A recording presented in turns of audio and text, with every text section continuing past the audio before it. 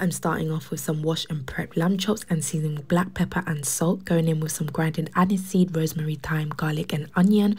adding in some all-purpose seasoning, some butter and I'm working that in there,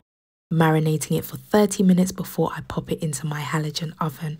I'm going to be setting the timer to 15 minutes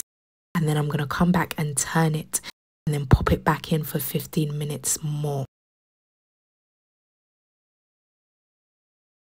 For the sticky sauce, I'm heating up some oil, adding in a scotch bonnet, garlic clove and some rosemary to make the oil fragrant.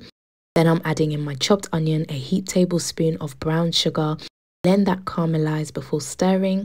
adding in oyster sauce, adding in sweet chili sauce, adding in some honey as well. Then I add in some hot pepper and a tablespoon of soy sauce and stir in. Once that caramelizes, I'm going to add in my lamb chops, baste the lamb chops,